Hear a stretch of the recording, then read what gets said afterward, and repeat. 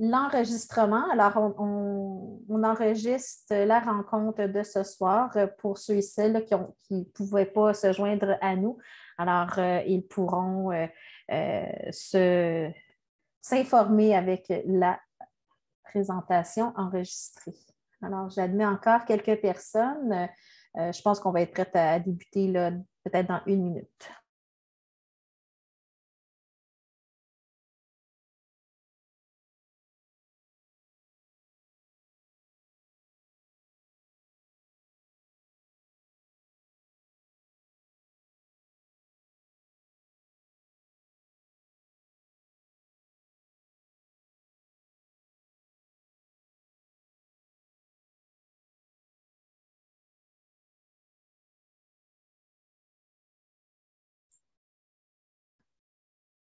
Alors, à nouveau, euh, bonsoir. Je viens d'admettre la dernière personne sur, euh, euh, dans la salle d'attente. Mon nom est Marc-Claude la directrice de l'arrondissement d'Outremont. Ça me fait plaisir de vous accueillir ce soir pour notre présentation de la sécurisation d'intersection des avenues Van Horn et Antonine Maillet. Alors, euh, je vais être votre animatrice. Vous aurez l'occasion euh, d'avoir M. Tomlinson et Mme Magini qui vont pouvoir discuter euh, du sujet. Et puis, on a des membres de l'équipe qui sont là aussi pour compléter et répondre aux questions si nécessaire à la fin de la rencontre. à nouveau, je vous demande de garder votre micro fermé pour faciliter nos échanges. À la fin, lors de la période de questions et de discussion, je vais vous demander de lever la main si vous voulez prendre la parole. Alors, euh, sans plus attendre, M. le maire, si vous êtes prêt, je vous donnerai la parole. Merci, Mme Leblanc. Donc, euh, merci à toutes et à tous. Merci d'être là. Euh, donc, je vais très rapidement vous dire, bien, évidemment, on est là parce qu'on a un problème. On a un problème qu'on veut régler, un problème qui est assez majeur. Hein. donc, merci d'y participer. je sais qu'il y a beaucoup de gens qui qui habitent euh, dans le secteur, soit directement sur Antonine Maillet, euh, sur Van Horn ou dans les rues avoisinantes, euh, qui sont très intéressés par ce qui se passe dans le secteur. on a fait une première intervention sur l'avenue Dunlop et on doit absolument faire une à l'intersection Antonine Maillet et Van Horn. Donc, sans plus tarder, je vais juste encore une fois vous remercier d'être là. Je vais passer la parole à ma, collègue, Mme Magini, euh, pour euh, vous donner un petit peu plus de détails euh, sur la soirée de ce soir avant que Mme Leblanc reprenne le contrôle pour la présentation. Donc, Mme Magini, c'est à vous. Oui, merci beaucoup. Donc, bonsoir à toutes et à tous. J'ai eu l'occasion de parler avec plusieurs d'entre vous à plusieurs reprises de du problème, euh, du problème de sécurité à l'intersection Anthony Maillet et Van Horn, euh, que ce soit pour les automobilistes. Euh, vous, avez certainement dû le, constater. On a, on a nous-mêmes vu plusieurs accidents, reçu des photos des accidents de, par exemple, de voitures qui se retrouvent sur des, trottoirs, donc des collisions entre voitures. je pense qu'on a de la chance que jusqu'à présent, il n'y ait pas eu de, de mort à cette intersection-là ou de blessés graves.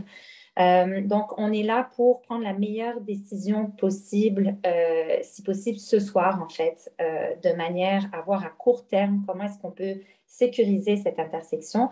je dis court et moyen terme, pourquoi? Parce que lorsque l'ensemble de l'avenue Van Horn sera refaite, et ça devrait se faire au moyen terme, on espère dans trois à cinq ans, euh, on va vraiment regarder l'ensemble des aménagements de toutes les intersections et voir comment on peut rendre l'avenue Van plus sécuritaire, notamment en réduisant la vitesse et les différentes intersections. Il y a beaucoup d'enfants qui marchent, de personnes âgées, euh, donc d'enfants qui se rendent à pied à l'école, de personnes âgées. Bref, il y a beaucoup de piétons dans ce secteur-là et on veut s'assurer d'avoir une avenue Van la plus sécuritaire possible. Euh, je laisserai donc euh, tout de suite la, parole à, euh, Madame, à Madame Leblanc, la directrice de l'arrondissement.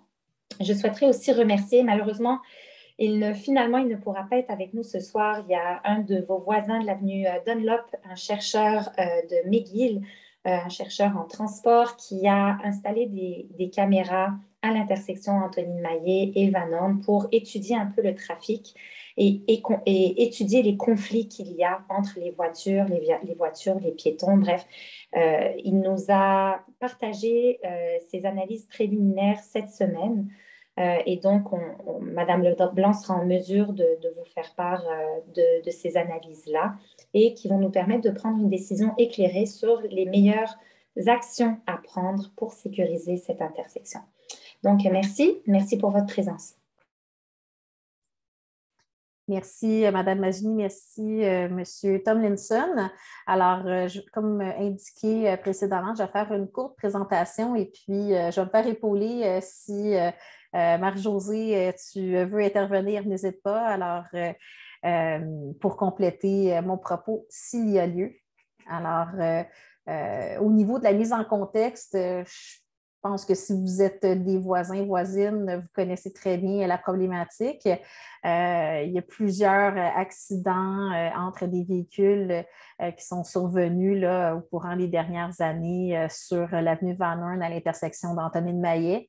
Euh, une des causes euh, de ces accidents, euh, c'est que certains automobilistes s'engagent sur l'avenue Van à partir d'Anthony de Maillet en s'avançant pour augmenter leur champ de vision et puis bien rentrent en contact avec des véhicules circulant sur Van Horn. plusieurs citoyens, dont vous êtes sûrement, ont manifesté la nécessité d'augmenter la sécurité à cette intersection et plus particulièrement celle des des piétons qui sont présents sur les trottoirs.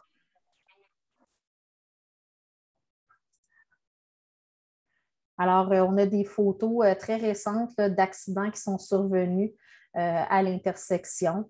Alors, une ici, on voit la voiture qui a percuté une autre voiture qui s'est ramassée sur un terrain privé.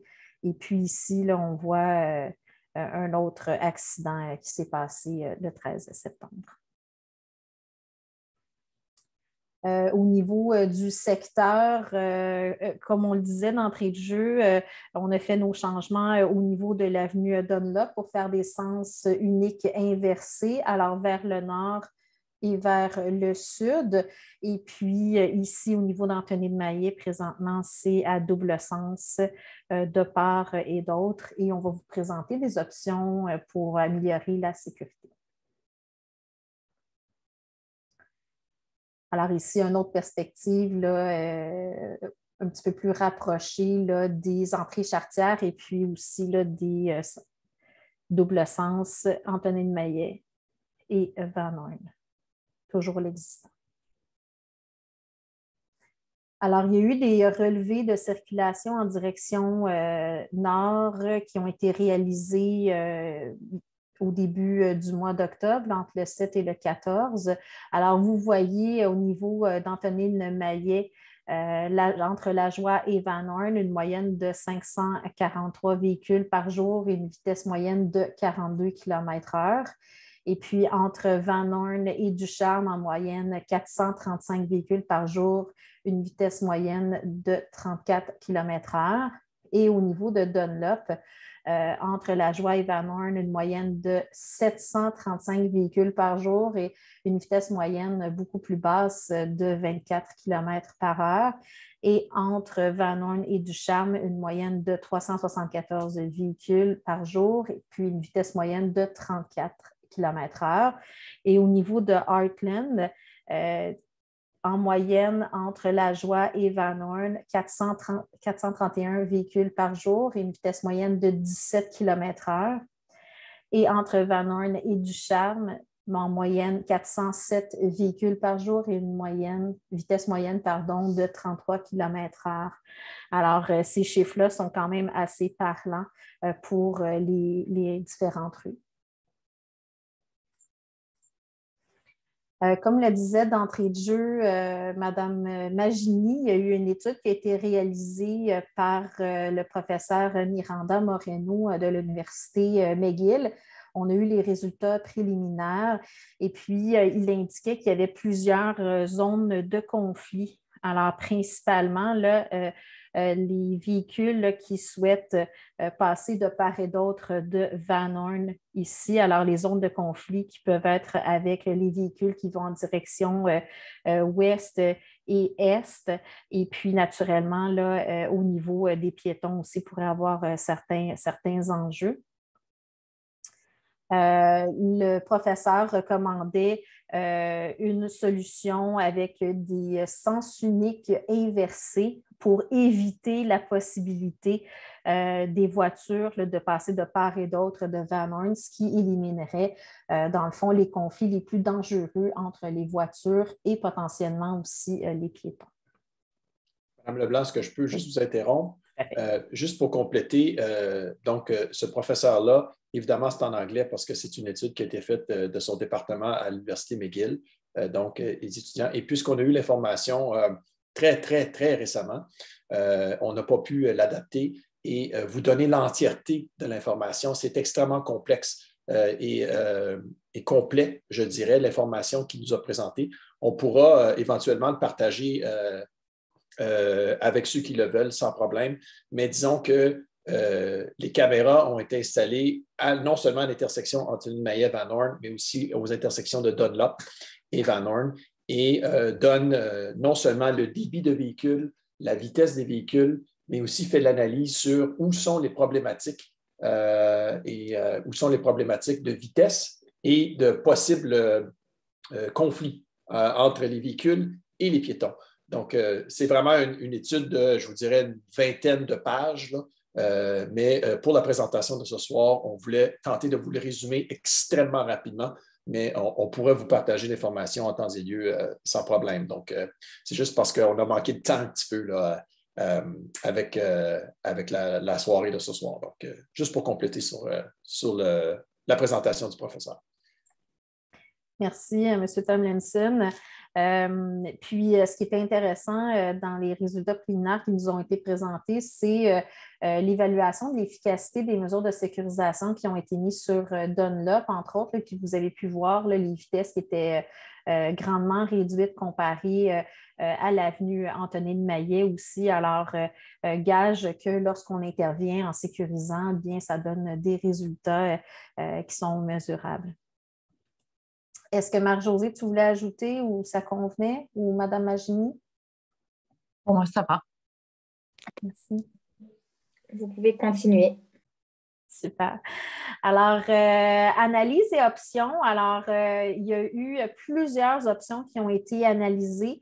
Euh, la première, c'est celle qui, l'option A, c'est celle qui a fait l'objet d'un avis de motion au niveau d'un sens unique direction nord sur la partie de l'avenue Anthony de Maillet entre les avenues Van Horn et du Charme.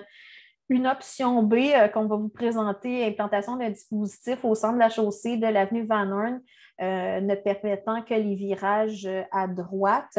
Dans le fond, ça évite que les voitures passent de part et d'autre de Van Horn. il y a aussi l'option C, qui était les sens uniques inversés que c'est présent sur Dunlop. cependant, ça a été non retenu dû aux impacts potentiels sur le transit des rues avoisinantes on sait que c'était une, préoccupation qui était partagée par plusieurs résidents et résidentes. Alors, euh, au niveau de l'option A, le sens unique en direction nord entre les avenues euh, Vernon et Ducharme, ici, et double sens, dans le fond, aucun changement pour le tronçon entre Vernon et La Joie. Et toujours l'option A avec la perspective un petit peu plus euh, rapprochée sens unique vers le nord et puis double sens au niveau euh, euh, du tronçon La Joie et Van. Au niveau de l'option A, élimination des conflits entre les véhicules circulant sur l'avenue Van Horn et ceux circulant en direction sud sur l'avenue Antoine de Maillet entre Ducharme et Van Horn. Amélioration de la sécurité à l'intersection, protection des piétons contre d'éventuels véhicules pouvant être projetés sur le trottoir lors d'accidents. Euh, réduction de la circulation de transit euh, en direction sud entre les avenues Ducharme et Van Horn. Euh, obligation pour les citoyens résidant sur le tronçon visé d'emprunter du charme pour se rendre sur l'avenue Van Horn. Utilisation des avenues euh, Rockland et Heartland protégées euh, par des feux de circulation pour accéder à l'avenue Van Horn. Et puis, une augmentation de la circulation sur ces avenues-là. Celles-ci sont présentement en analyse afin de voir si des changements devraient y être apportés pour les avenues Rockland et Heartland. Alors, ça, c'était l'option A. Au niveau de l'option B, euh, on, mettrait un dispositif ici au centre de la rue qui permet, dans le fond, euh, qui, ne permet pas de, passer de part et d'autre de Van Horn et euh, les gens pourraient tourner à droite seulement.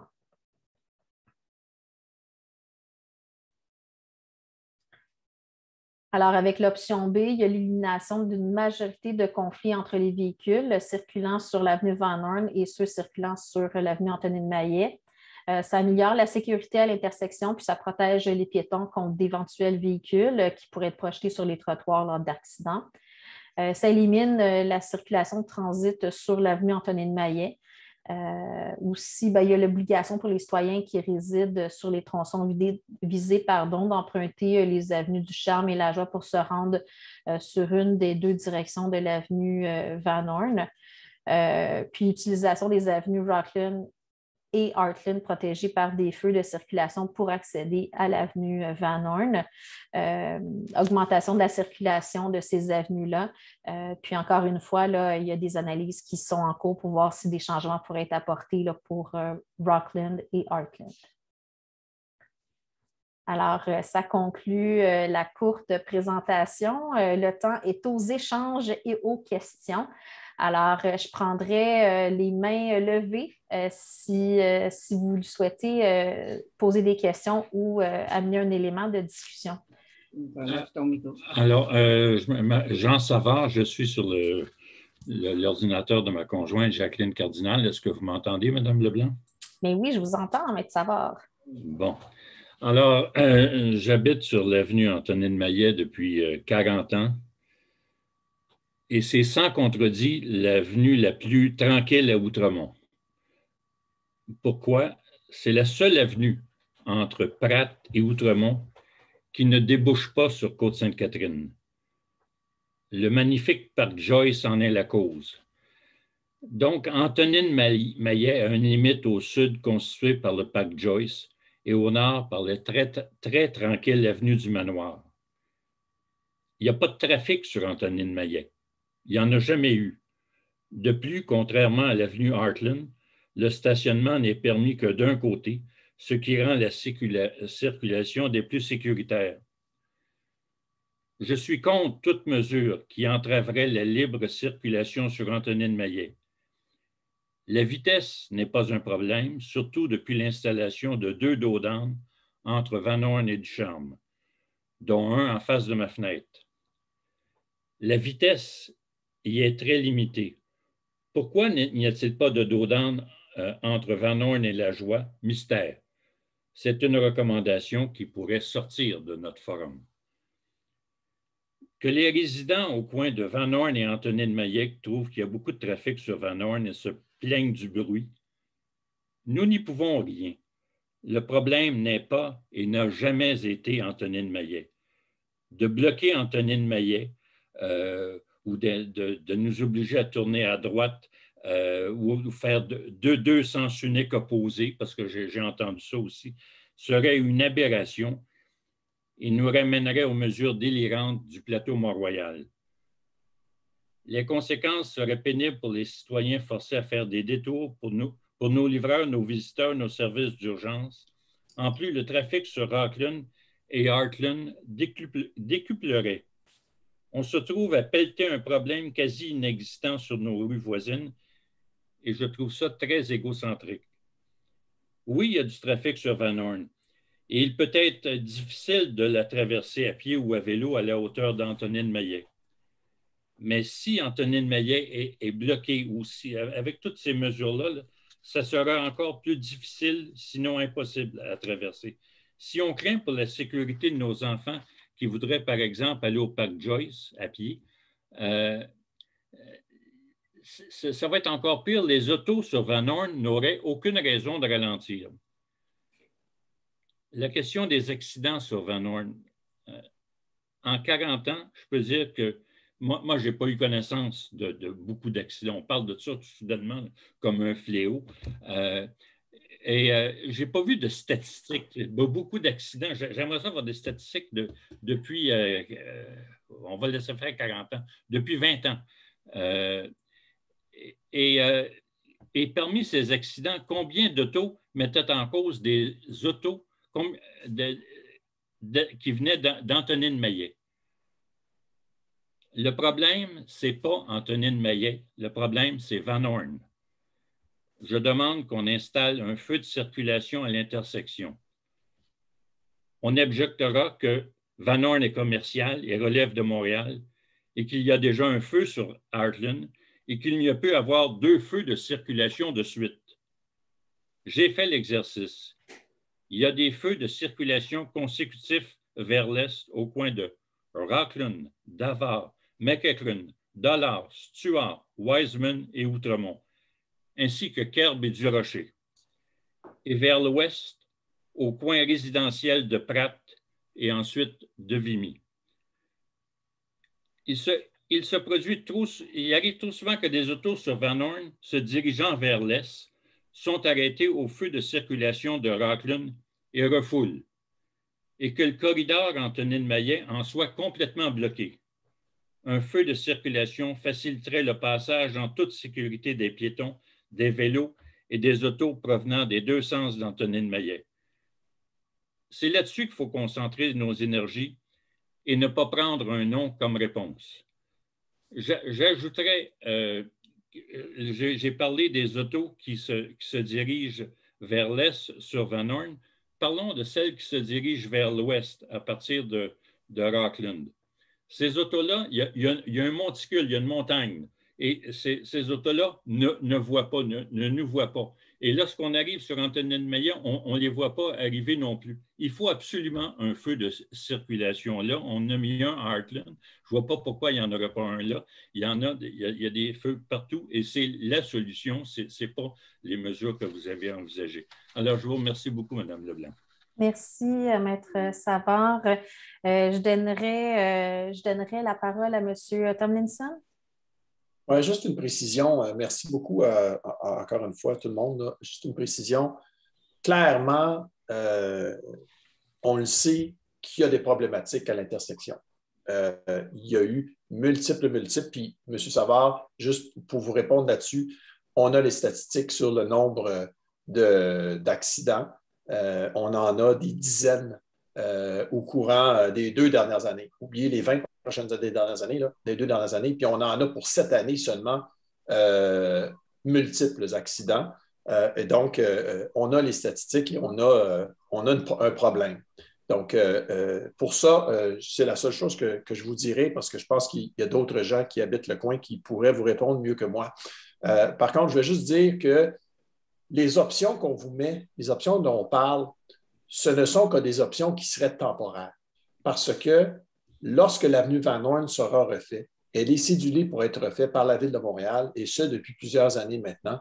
Donc, c'est sûr que lorsque l'avenue Van Horn va être refaite, dans les prochaines années, euh, deux, trois ans, on parle pour le, début des travaux, euh, il va y avoir euh, des interventions complètement différentes à chacune des intersections. Donc, j'entends bien, puis M. Savard, vous n'êtes pas le seul à l'avoir mis de l'avant, le, principe, la possibilité d'avoir une lumière à cette intersection-là. Euh, c'est clairement quelque chose qu'on va, va discuter avec la Ville de Montréal parce que ça reste une des meilleures solutions à long terme. Donc, c'est clair que ça, ça peut venir, mais là, on parle de quelque chose qu'on peut faire en attendant que ça, ça soit fait pour sécuriser dès maintenant parce qu'il y a problématique. Donc, euh, euh, j'ai vu dans le clavardage, Mme Leblanc, qu'il y a quelqu'un qui voudrait qu'on mette les, options à l'écran. Je pense que ce serait une bonne, euh, une bonne page à avoir pour, notre discussion, tout simplement. Donc, je vais m'en remettre à ça pour, pour, la question, mais c'est vraiment quelque chose de, temporaire qu'on fait. On ne parle pas de quelque chose d'une installation permanente parce qu'on sait tous que Van Horn va être fait très vite. Merci. Merci, M. Tomlinson. Je donnerai la parole à Mme Émilie Bouchard. Oui, bonsoir. Euh, allô, je vais partir ma caméra. En fait, euh, moi, j'habite exactement le coin Antonine Maillet et Van Horn, vraiment sur le coin. On a déménagé à la mi-juillet et puis euh, on a une petite fille de 17 mois et je peux vous dire que depuis qu'on est arrivé, c'est ça, on a vu, pour répondre à M. Savard, on a vu à peu près six ou sept accidents euh, depuis les derniers mois qu'on est arrivé. Donc, y a vraiment, vraiment un problème à ce niveau-là. Euh, je voulais revenir sur les options que vous aviez mentionnées parce que l'option A que vous mentionnez, donc d'implanter un sens unique seulement sur une, dans un des sens, dans une des directions, là, je dire un des tronçons, dans le fond, ne protège pas du tout l'autre tronçon. Là. Euh, le tronçon entre euh, la joie et Van Horn n'est euh, pas du tout protégé. Puis ce qui est étrange dans, votre, dans cette proposition-là que je trouve, c'est que c'est, on a remarqué que sur le tronçon entre la joie et Van Horn, c'est là où la, vitesse est la plus élevée, parce que c'est, là qu'on n'a pas les dos encore, ils, ils doivent s'en venir d'ici la fin octobre. Mais octobre est dans trois, la fin octobre, c'est dans trois jours, fait que j'ai hâte de voir. mais donc, je ne comprends pas pourquoi c'est pas là le sens unique. Le sens unique ne serait pas là plus tôt, euh, parce que là, l'autre tronçon n'est pas, pas, du tout protégé. Euh, pour ce qui est de l'option B, euh, vous mentionnez le, bloc dans le milieu de Van Horn. on s'est fait dire que Van Horn appartient à la ville-mère et non à la municipalité. Donc, pour avoir, on ne l'aurait jamais d'ici deux ans. Donc, on parle d'une attente de deux ans encore. donc, ça non plus, ce n'est pas une option viable à court, court terme. Euh, pour ce qui est des feux de circulation, on s'est fait dire qu'on ne pouvait pas en mettre un parce qu'il n'est pas à plus que 100 mètres d'écart des autres feux de circulation. Donc, ça non plus, on s'est fait dire que ce n'était pas une option. Euh, c'est pour ça qu'il y a plein de voisins, là, pas tout le monde encore a, signé ou a été informé, mais il y a plusieurs voisins qui ont, fait circuler une pétition pour fermer les, rues carrément, les tronçons. Euh, avec des blocs de fleurs. Donc, je ne sais pas s'il y a d'autres voisins qui voulaient en, discuter, euh, mais je voulais soulever ces points-là parce que les options qui sont présentées, ce n'est pas toutes les options qui ont été discutées. Là. Merci. Merci beaucoup, Mme Bouchard. Dans le fond, on n'a pas mis euh, l'option euh, dont vous parlez, la dernière option, parce qu'elle n'est pas possible en temporaire. Alors, temporairement, pour plusieurs enjeux euh, de logistique, euh, on ne pourrait pas les implanter. Euh, ça a été implanté parfois dans d'autres types de rues, mais pour l'avenue Antonine Maillet, ça ne serait pas possible. concernant le dispositif de l'option B, on l'a fait encore là c'est possible temporairement de demander la permission à la Ville de Montréal d'installer ce type de dispositif-là. Euh, c'est certain que ça ne serait pas euh, dans les prochains jours. Là. Ça prendrait quelques mois, mais on est confiant que si c'est l'option retenue, elle pourrait être implantée euh, d'ici le printemps, dans le fond, dans les prochains mois. Je ne sais pas si ça répondait ou y avait-tu pour les feux de circulation, vous avez raison, mais comme M. Tomlinson a, indiqué, toutes les options seront analysées dans le, grand chantier de l'avenue Van Horn pour s'assurer que ce soit le plus sécuritaire possible, puis aussi en lien avec euh, vision zéro euh, de la ville de Montréal pour s'assurer que tout le monde est en sécurité. Merci pour la réponse, c'est gentil. Je veux juste rajouter, je pense qu'il y a Michael aussi qui veut lever sa main, mais qui ne sait peut-être pas comment lever sa main avec le système. Fait que juste pas l'oublier dans votre. C'est bon, je vais, lui donner la parole tout de suite après, euh, après les autres. J'en ai encore trois en fil, mais après Robert, Michael, ça sera à toi. Euh, désolée, je ne vois pas tout votre nom. Alors, euh, merci beaucoup, euh, Madame Bouchard. Alors, je donnerai la, parole. Et désolée, des fois, je vois des noms, mais je ne suis pas certaine des mots. alors, Gérasimos. Oui, bonjour, Madame Leblanc. Merci beaucoup. Ben, tout d'abord, je voudrais vous remercier, vous personnellement, le maire et, et, et Fanny Magini, pour avoir euh, pour, votre intérêt, pour votre engagement dans ce, dans ce dossier. Euh, je, pense que c'est, euh, je pense que ça a été bien. vous, avez, vous avez bien compris la, problématique. c'est sûr que depuis, depuis, depuis l'été, il y a eu plusieurs accidents. et plus on allait vers le mois d'août et septembre, il y a eu une augmentation spectaculaire d'accidents dont certains euh, étaient, euh, étaient assez graves, voyant euh, des, bébés sortir des voitures, voyant de façon, de façon régulière les ambulanciers et, ainsi de suite. c'est là qu'on a vraiment, on a on, a vraiment senti qu'il faut agir, il faut agir, il faut vous, il faut vous informer rapidement et pour, pour procéder à, à, une, à, une, option, une option réaliste, une option, mais en, même temps une option assez, assez rapide parce que on ne veut pas voir d'autres, on veut pas voir cette continuation d'accidents.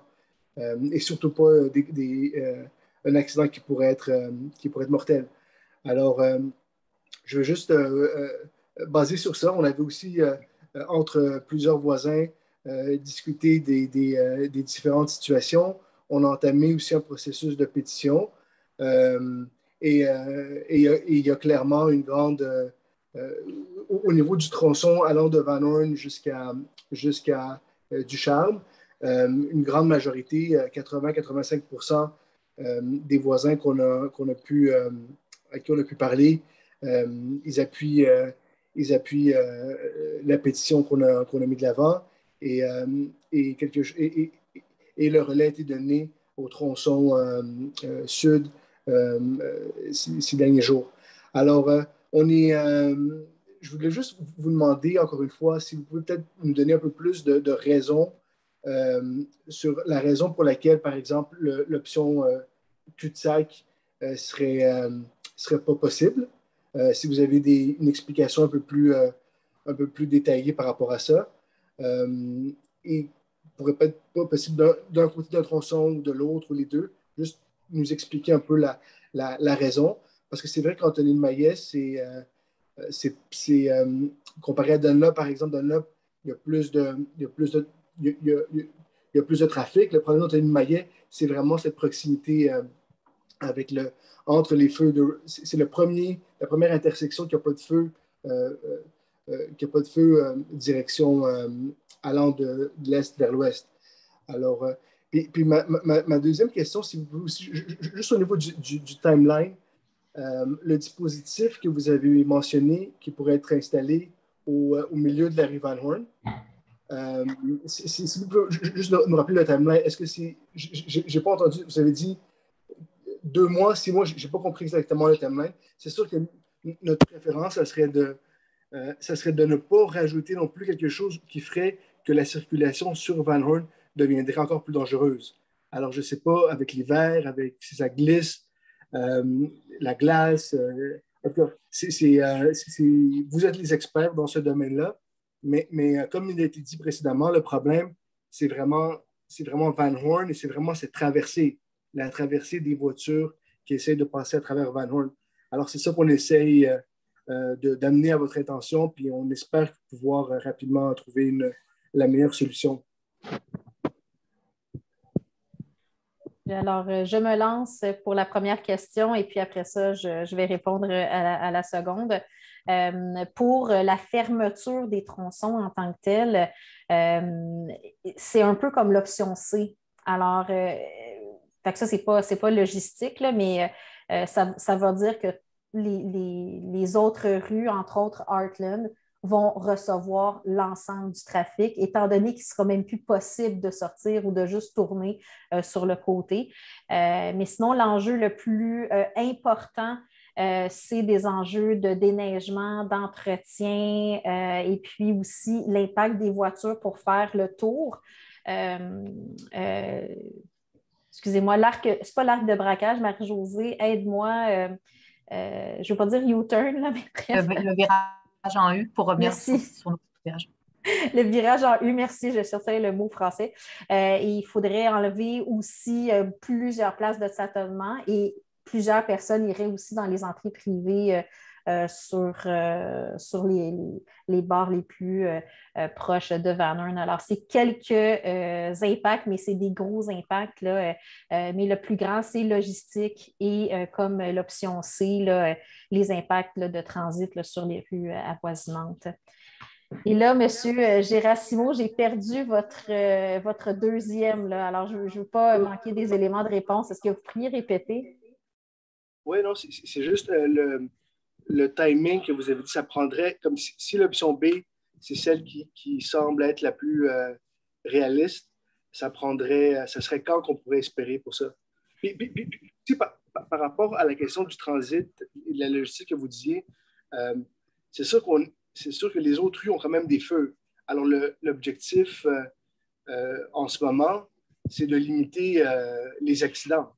Alors, c'est sûr que même s'il y a plus de, trafic, disons plus de voitures sur Rockland ou sur Heartland par la suite, au moins il n'y aurait pas d'accident. Mais, oui.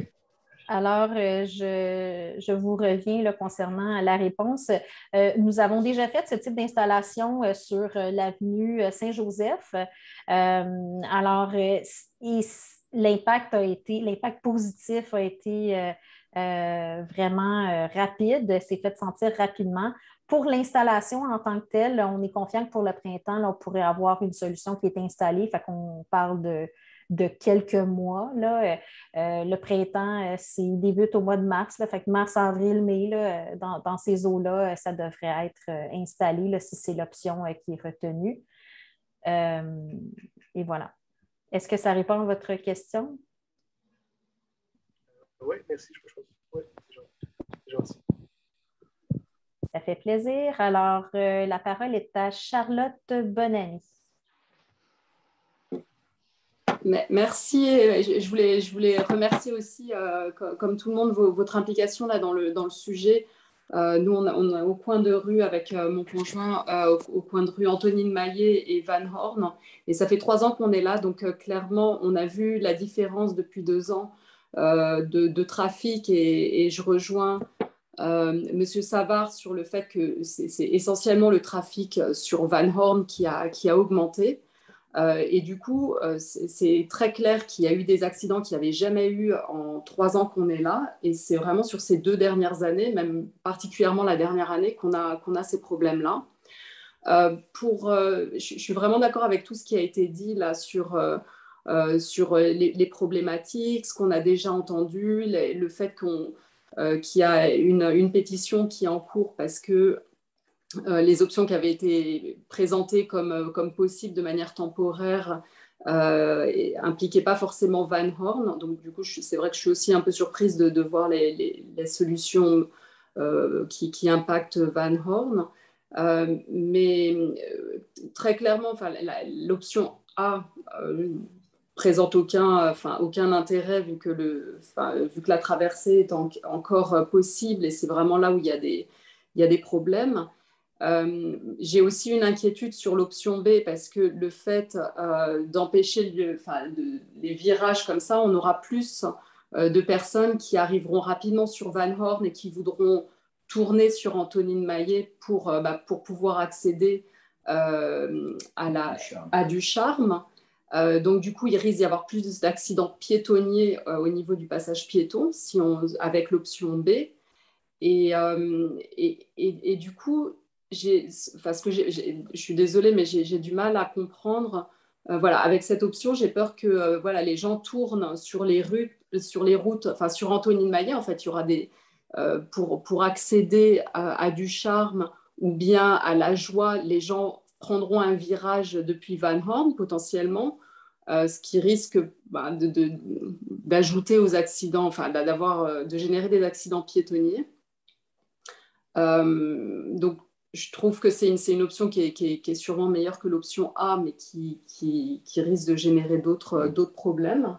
Le, problème, la plupart des accidents, en fait, mon bureau est situé et je, je regarde le, croisement des, des trafics je vais dire 99% des accidents sont en direction euh, nord pour les gens qui traversent de euh, Anthony Maillet pour accéder à Avenue du Charme.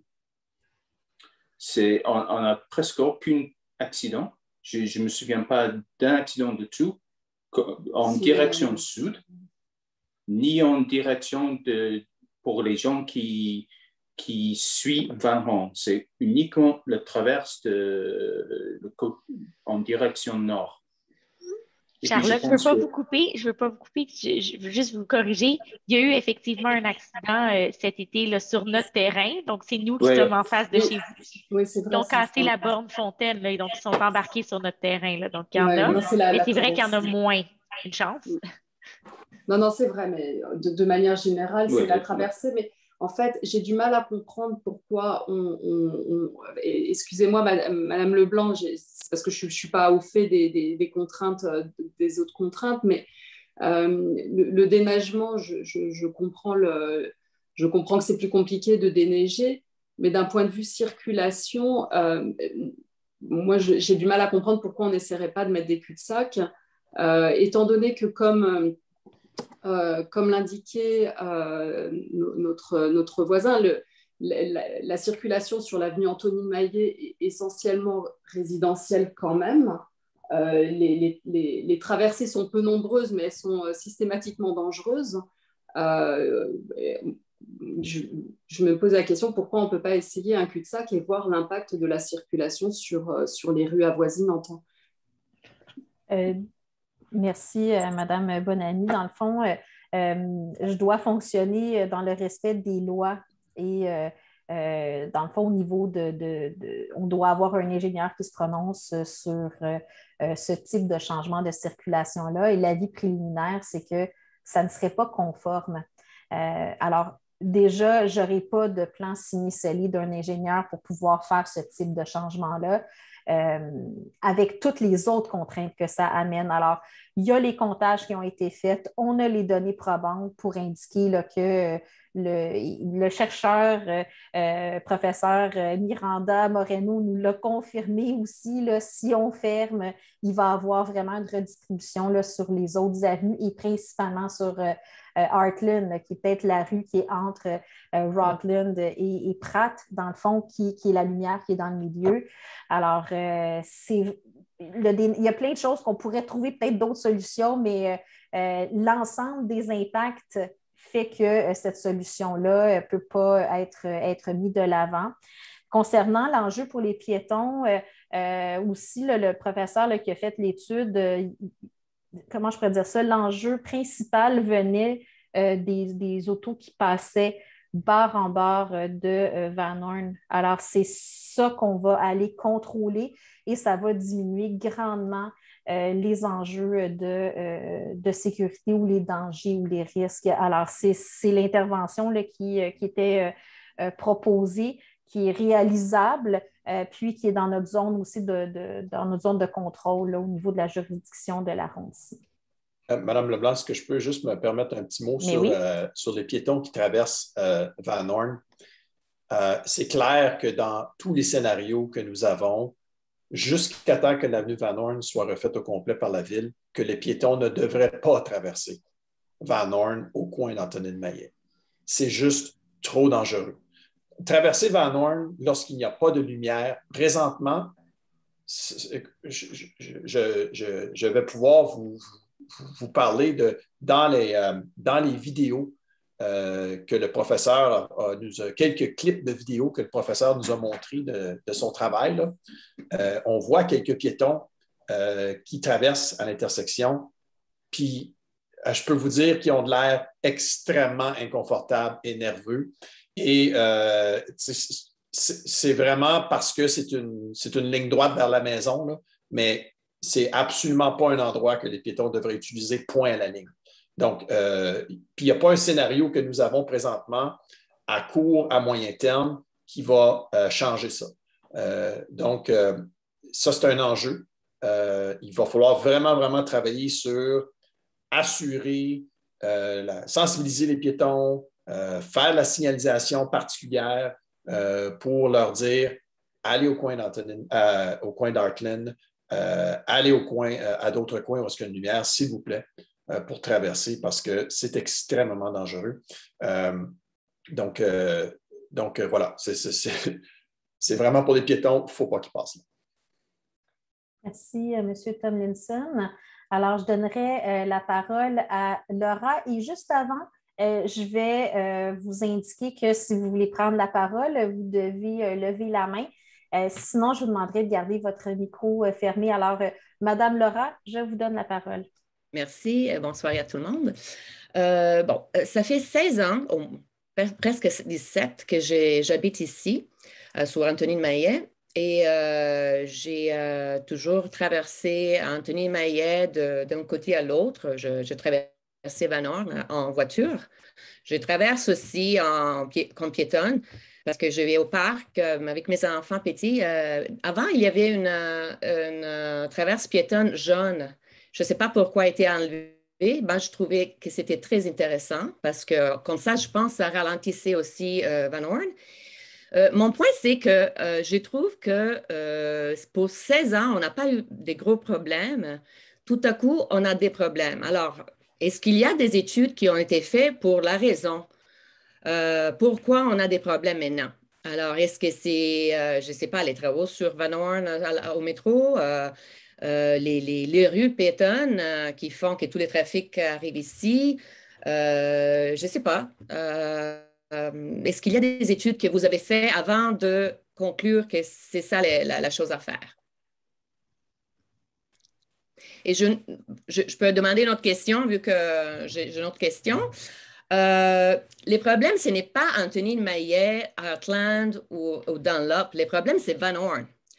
Alors, pourquoi on doit changer euh, ces rues résidentielles quand on peut faire quelque chose sur Van Horn?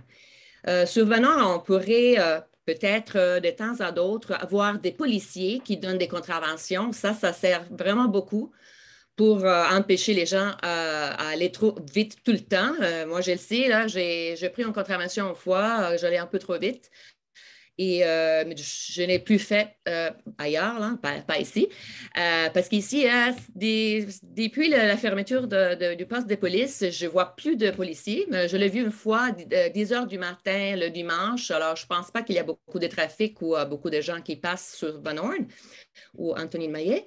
Et j'ai une autre chose euh, que j'ai vue, vraiment, j'étais surprise. Euh, euh, j'étais à à Saint-Léonard, une zone très résidentielle avec une école à 30.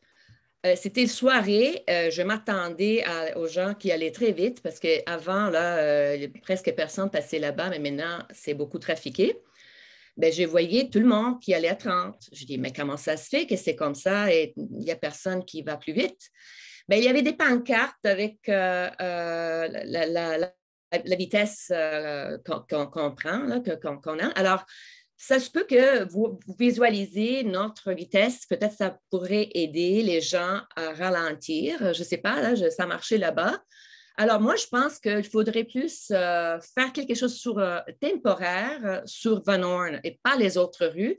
Parce que moi, là, j'ai remarqué aujourd'hui, j'ai même remarqué aujourd'hui, je suis venue de, l'autre côté d'Anthony Maillet. J'ai traversé Van Horn et il y avait les trafics. Alors, comme toujours, je vais très lentement et je regarde bien. Mais je trouve que les, voitures sur Van vont beaucoup plus vite qu'avant. Beaucoup, beaucoup plus. Alors, c'est certain que si on ne fait pas attention, c'est certain qu'ils vont nous, euh, nous frapper. Alors, moi, je fais attention. Je suis habituée à des, des, villes très, très, très euh, avec beaucoup de trafic mais peut-être qu'il y a des gens qui ne sont pas habitués, alors euh, ils n'ont pas de.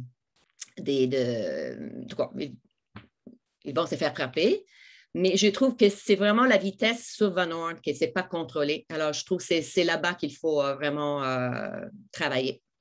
Et c'est tout. Merci pour vos interventions. on n'a pas d'analyse avant-après.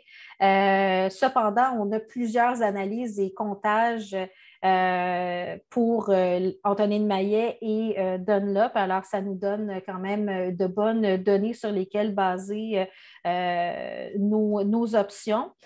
aussi, comme vous l'indiquez, au niveau de Van Horn, je pense que tout le monde ici est convaincu qu'il euh, y a vraiment de bons changements à faire pour mieux sécuriser euh, l'avenue Van Horn. Ces changements-là vont venir, mais dans quelques années. Alors, euh, comme le disaient certains intervenants, les solutions qu'on propose, c'est des solutions en attendant d'avoir une meilleure sécurisation sur l'avenue Van Horn. C'est temporaire, c'est facile à mettre des pancartes pour ralentir les gens. Hein. C'est très facile à faire. C'est temporaire aussi.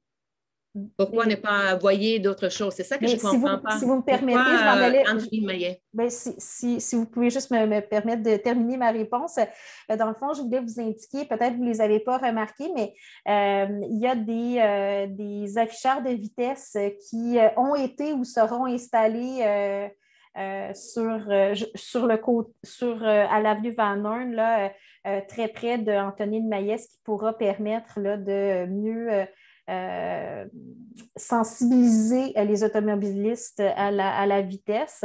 Et puis, euh, notre avenue Van Horn, dans le fond, a une vitesse moins élevée que le reste de l'avenue Van Horn en, en, amont et en aval aussi.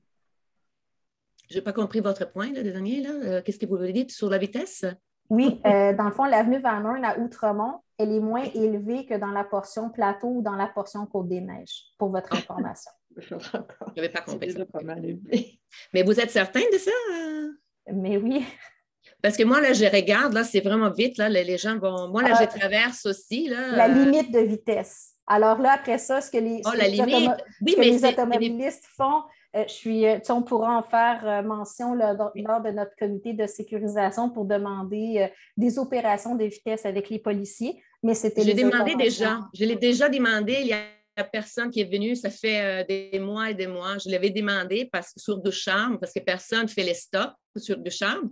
Les policiers sont venus nous voir. Il a dit que oui, c'est vrai qu'il n'y a personne qui fait les, stops. Et il a dit qu'il allait faire des, des, interventions. Je l'attends encore. OK? Alors, ne me dites pas qu'ils vont faire des interventions. Je ne crois pas à ça.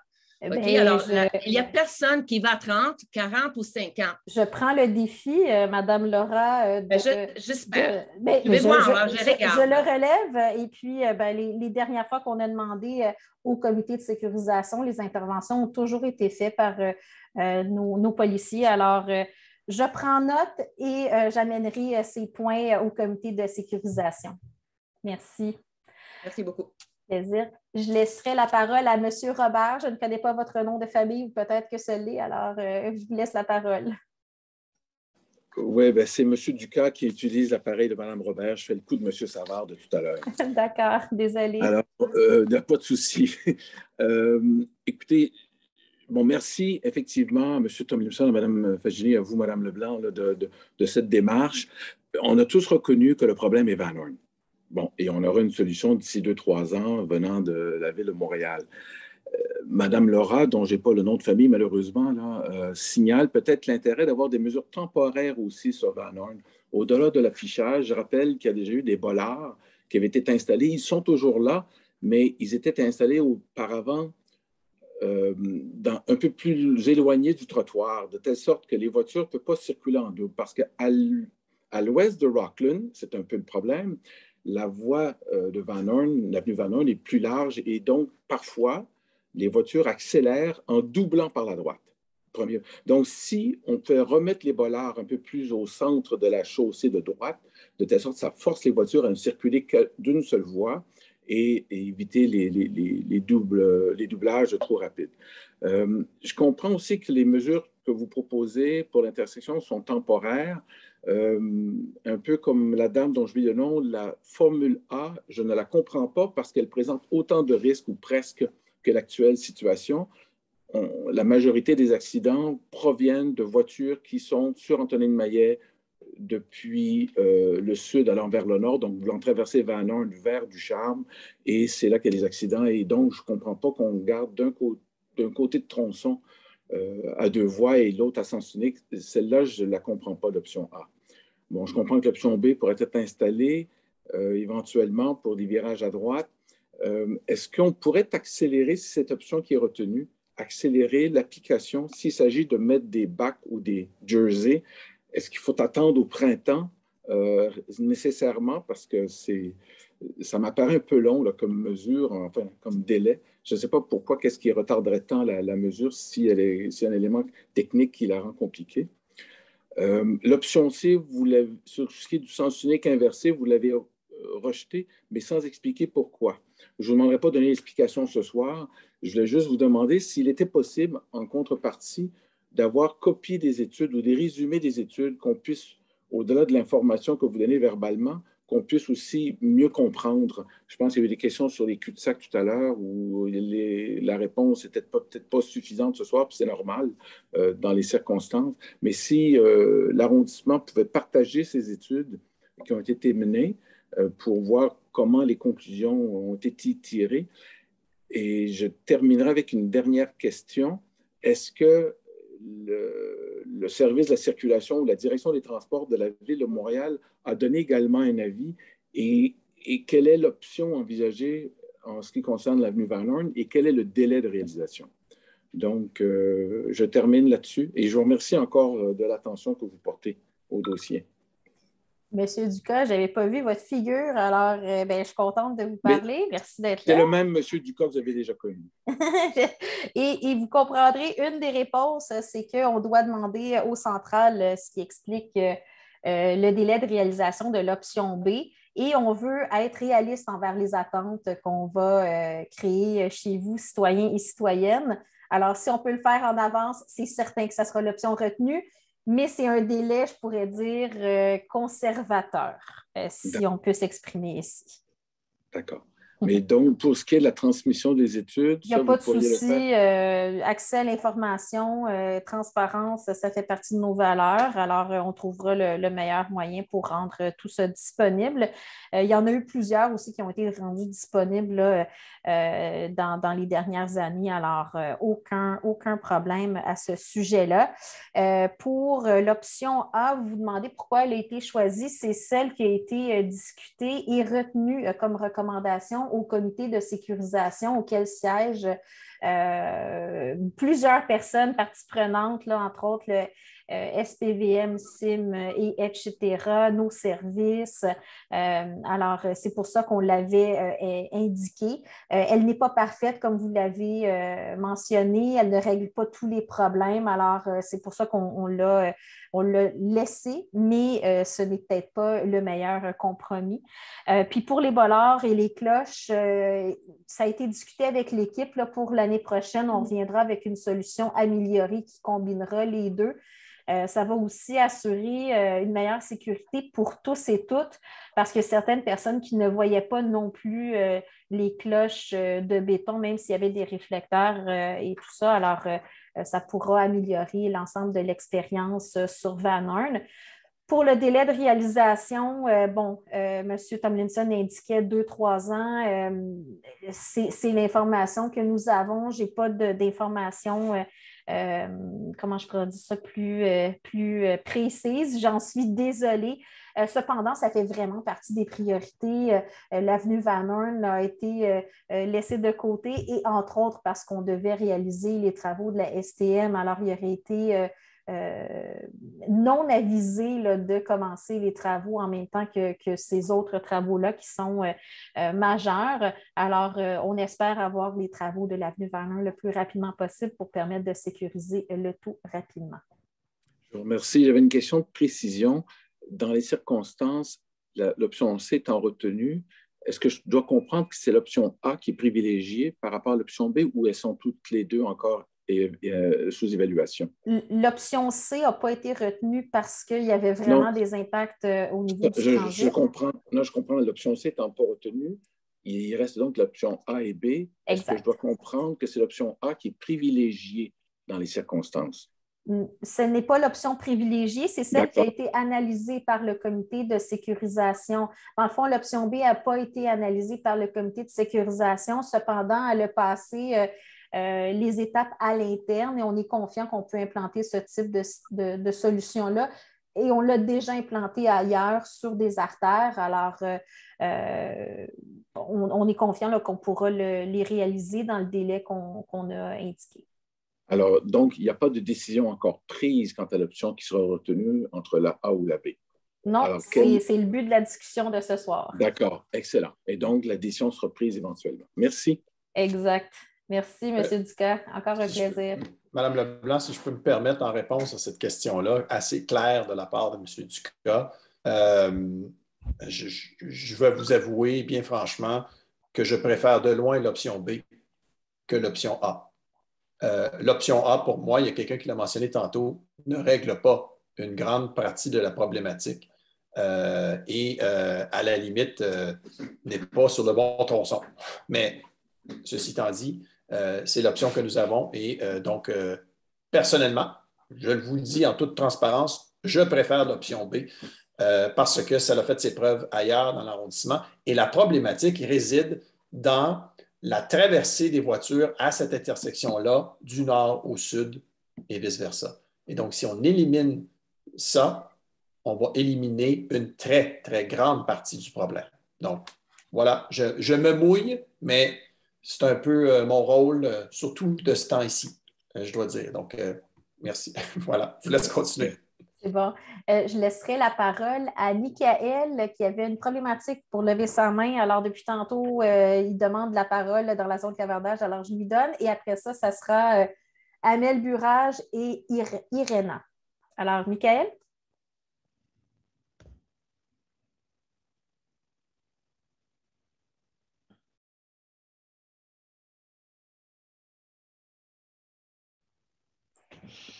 Michael. Vous êtes en mute. Vous êtes en mute, Michael.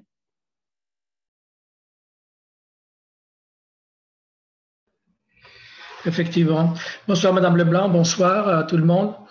Euh, ça fait pratiquement 30 ans que j'habite euh, trois maisons à l'intérieur de l'intersection de Van Horn et puis euh, Anthony de Maillet. Et effectivement, j'ai assisté à quelques accidents. La grande majorité de ces accidents, c'est des accidents qui sont produits par des automobiles qui traversent Anthony Maillet du sud au nord et vice-versa. Nous avons déjà des stops et euh, le problème, c'est euh, que lorsque nous avons des accidents, oui, il y a la vitesse, mais là, il y aura des dodanes qui vont être mis dans le tronçon euh, Van Horn, La Joie, qui vont diminuer la vitesse. Mais il y a aussi le problème que les gens, soit ils ne voient pas le stop, ou soit ils ne veulent pas le voir, le stop. Une dame tout à l'heure mentionnait qu'on avait très peu de, de présence policière et c'est un constat. Euh, moi, personnellement, j'ai déjà demandé à avoir euh, une présence policière parce que la vitesse était un problème sur Anthony Maillet, qui ne devrait pas l'être. Mais euh, l'autre problème, c'est que les gens ne font pas leur stop. Ils ne le font pas parce qu'ils arrivent très vite ou parce que carrément, ils ne veulent pas le faire, le stop. Donc, il y en a des moyens qui sont en place, mais qui ne sont pas respectés le fait qu'il y ait un policier, je pense que ça va obliger certaines personnes de respecter cet arrêt-là. Mais aussi, ce que je veux proposer, c'est euh, d'avoir euh, une signalisation avant le stop en indiquant qu'il y aura le stop dans quelques mètres. Donc, les gens seront avisés avant d'arriver au stop, chose que nous n'avons pas.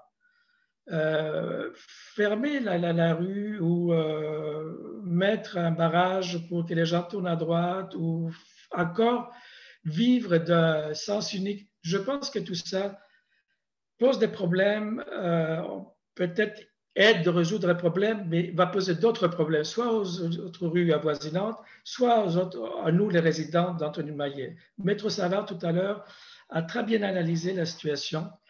Et je suis d'accord que les choses restent telles quelles, mais en ajoutant une, vigilance, policière euh, et aussi une signalisation qui, est, qui précède la signalisation finale, le stop. Je ne pense pas qu'on a besoin d'autre chose pour le moment. Attendons voir les résultats et par la suite, on peut aller plus loin dans notre décision. Mais pour le moment, mettons ce que nous avons décidé et euh, augmentons la, présence policière avec une prévention, euh, une signalisation préventive. Je n'ai rien d'autre à ajouter. Merci. Merci de votre intervention. Je laisserai la parole à, désolé, Amel Burage. Je ne sais pas si c'est madame ou monsieur. Oui, est-ce que vous m'entendez? Oui. Oui. Euh, j'aimerais euh, passer une remarque que les personnes notées J'habite euh, sur la, rue Antonin Maillet au sud, entre, entre Van Horn et le parc Joyce. Les grands changements qui sont produits, c'est qu'il y a beaucoup de jeunes familles depuis les 30 ans. les dernières 10 années, il y a beaucoup de jeunes familles. Alors, on s'inquiète de la vitesse. Et un citoyen, M. Semerjan, que les gens doivent connaître parce qu'il a fait faire une pétition.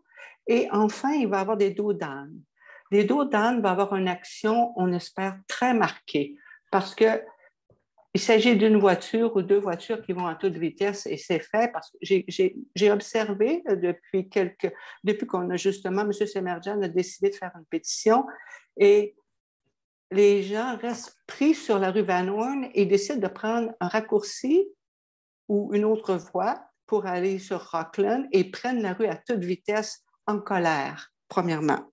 Bon, ensuite, tout à fait autre chose, ça, là, les, les dos déjà, les marquages sont déjà faits. M. Tomlinson me l'a fait observer l'autre jour lorsqu'on s'est rencontrés sur euh, Antonine Maillet. Ça, c'est supposé être fait ces jours-ci. On espère que ça va avoir un, impact énorme sur la rue. Bon, ensuite, une autre chose que j'ai observée depuis un bon moment, j'ai observé, j'ai été euh, témoin d'un accident, deux, accidents, mais un en particulier, justement à la Bonne Fontaine, du côté euh, euh, sud-est de, la rue. Bon, une, une, chose qui est très importante, c'est qu'il n'y a pas de visibilité lorsqu'on arrive au coin de Van Horn et Antonine Maillet vers le nord. Il y a des arbustes et la ville, j'ai lu dernièrement encore, il y a dans le code de la ville, il doit y avoir aucun paysagement plus haut que 85 cm, quelque chose comme ça, au point d'une intersection. Et c'est la même chose du côté nord. Il y a des, haies qui sont à des, arbustes qui sont à 6, 8, 10 pieds. On arrive et on ne voit pas. On ne voit pas qui arrive à droite ou de gauche. Ensuite, euh, le marquage sur la rue. Le marquage, quand on est sur Antonin Maillet, en allant vers le nord, il est très en recul. On est tellement en recul qu'avec les arbres, on voit absolument rien. L'arrêt qui est officiellement marqué, ça n'a aucune allure. Alors, c'est des choses qui sont tellement de base au point de vue planification urbaine qu'il faut regarder sérieusement. Alors, une autre chose, c'est que, bon, il y a ça, puis il y a le fait que les gens, il y, a, beaucoup de vitesse. J'ai demandé à des policiers, puis on dit, écoutez, il, peut en avoir euh, deux qui passent dans l'espace de, cinq heures. On ne peut pas s'attendre au coin de la rue pour voir qui fait de la vitesse. Bon. C'est très important parce que ce secteur de la rue Antonine Maillet, c'est le parc Joyce. Alors, les familles qui passent autour. Alors, c'est ça. Je pense que c'est, euh, je pense que c'est, j'ai fait mon point. Je pense qu'il n'y a pas, j'ai pas autre chose à dire. Merci pour vos interventions. On en prend bonne note là, pour euh, les arbustes. Vous avez aussi euh, des voisins et voisines qui l'avaient mentionné, le stop, le marquage. Alors, merci pour tous vos commentaires. C'est vraiment précis. Alors, je laisserai la parole à Irena.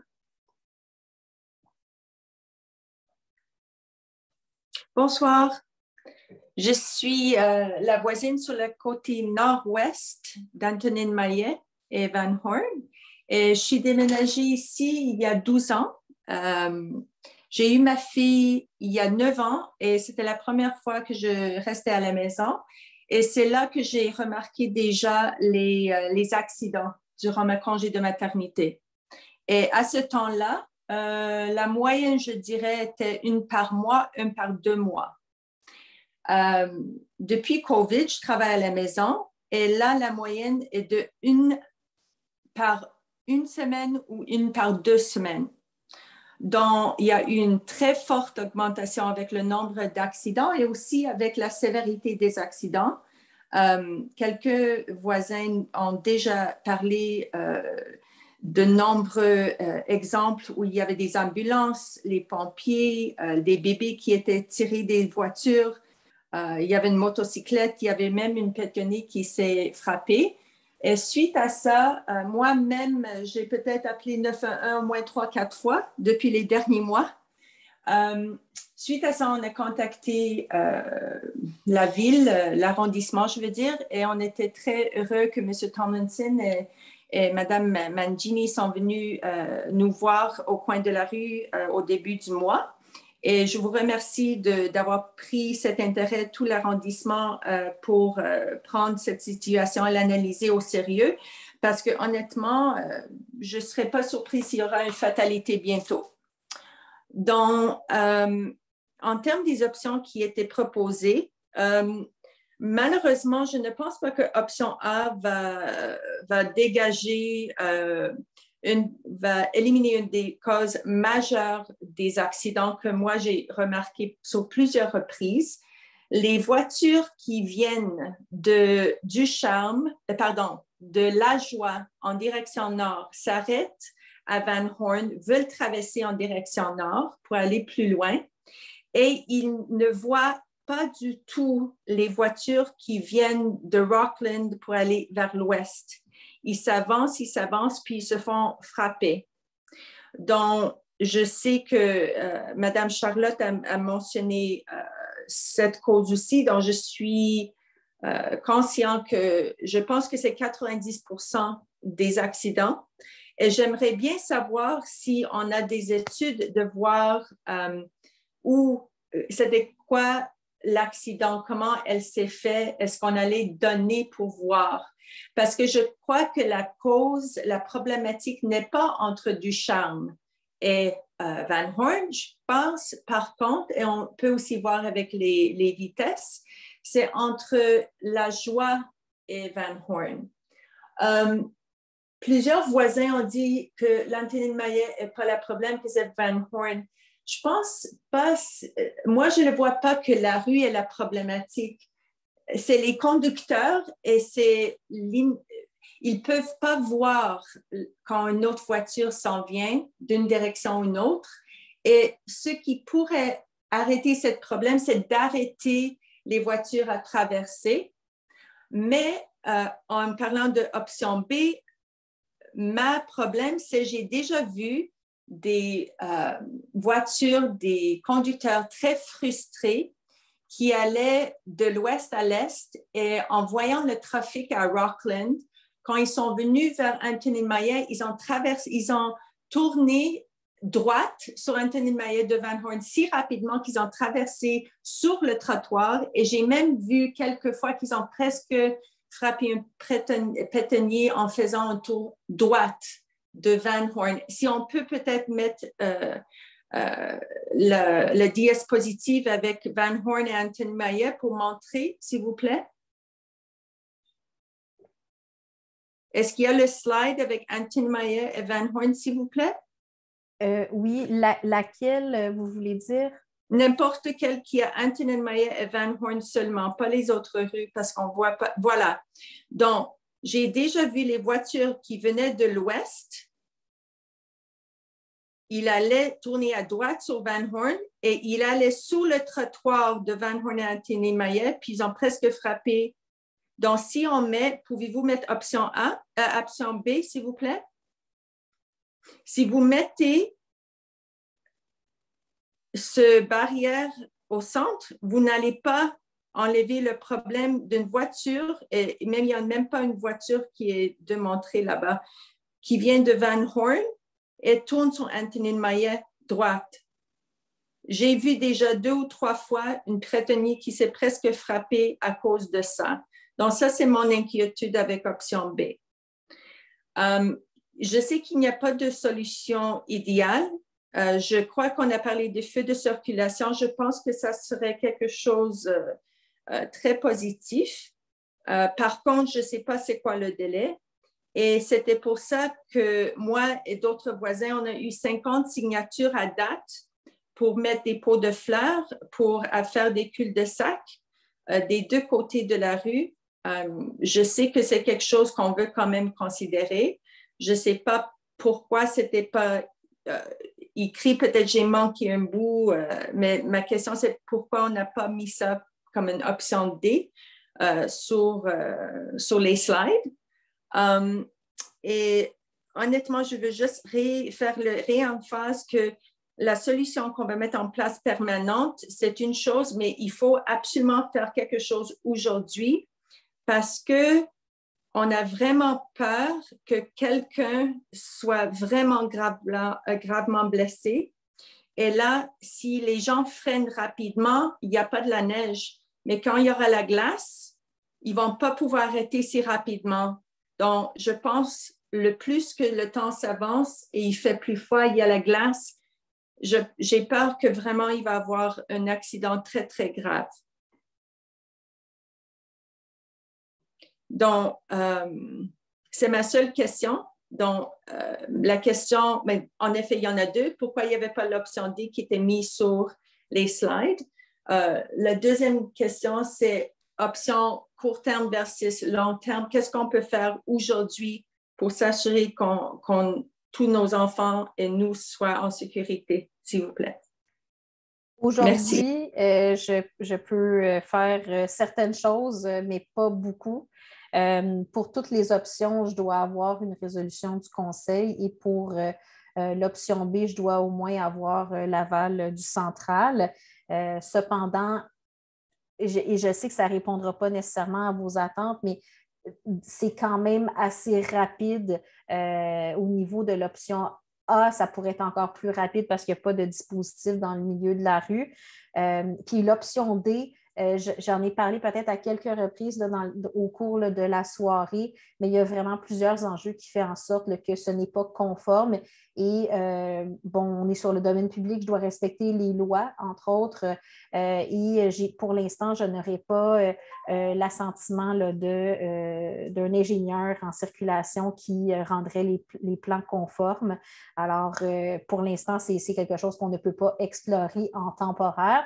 Ce que vous avez mentionné pour la sécurité des piétons, j'ai l'impression qu'avec le réaménagement de Van Horn, il y aura des saillies à toutes les intersections, ce qui fera en sorte que ce ne sera pas possible euh, de tourner, comme vous avez dit, là, puis de ramasser euh, les piétons. Il va y avoir une zone de protection qui va être agrandie, euh, comme sur d'autres, d'autres saillies là, près, sur d'autres intersections. mais Madame, Madame Leblanc, je m'excuse, mais le trottoir sera plus grand. Ça ne veut pas dire qu'ils ne vont pas monter là-dessus. j'ai déjà, si j'ai déjà vu des gens, et je n'exagère pas, aller à 80 km de l'heure. Mon mari a crié après un, puis il est sorti de son camion, puis lui a dit, je vais, aller à la vitesse que moi je veux. Policier, je suis euh, surprise avec la vitesse des gens sur Van Horn. Et même si les trottoirs sont agrandis, plus rondes, plus hautes, ça n'enlève pas le risque des virages droites. Et option B n'enlève pas ce risque. Et j'ai peur que les gens Van Horn seront frustrés et ils vont tourner des deux côtés, faire un virage droit rapide. Ma fille a un arrêt d'autobus, Antonine Maillet, puis Van Horn, et on n'a pas le droit de le changer. J'ai même fait une demande euh, et, peut-être je vais mettre vos euh, slides en support de ma demande de changer l'arrêt d'autobus parce que j'ai peur qu'une journée, nous serons frappés en attendant son bus scolaire. Alors, euh, si je peux, Madame Leblanc, je peux peut-être contribuer. Donc, je veux juste comprendre pour l'arrêt. Est-ce que c'est un arrêt d'autobus de la STM? Non, the English Montreal School Board. OK, je comprends. Euh, parce que une, des choses, euh, comme vous savez, qui existe déjà sur l'avenue Van c'est la présence de, ces cloches hein, de béton euh, qui empêchent le dédoublement des gens vers la droite hein, pour utiliser deux voies de circulation quand ça devrait être uniquement une seule voie. évidemment, il y a possibilité de déplacer ces cloches-là. Donc, euh, une possibilité serait peut-être, on pourrait le regarder euh, très sérieusement, de déplacer une des cloches plus près du coin de rue d'Antonine Maillet pour justement ralentir les véhicules qui veulent tourner à droite. Parce que je pense que la question des véhicules qui tournent à droite euh, n'est pas nécessairement la problématique, c'est la vitesse dont ils, dont ils font leur tournant.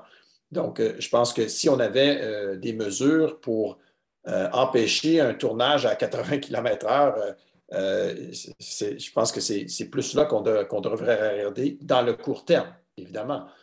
parce qu'évidemment, pour, le plus long terme, avec la réflexion de Van Horn, il y a plusieurs choses qui peuvent être entamées, notamment, par exemple, empêcher les gens de tourner à droite, etc. Donc, je pense que pour le court terme, il y a quelque chose à faire au niveau du déplacement euh, des cloches en béton euh, qui pourraient aider euh, la situation des gens qui tournent trop rapidement. Monsieur Tomlinson, est-ce qu'on pourrait mettre les cloches pour bloquer l'accès aux rues Antonine Maillet des deux côtés?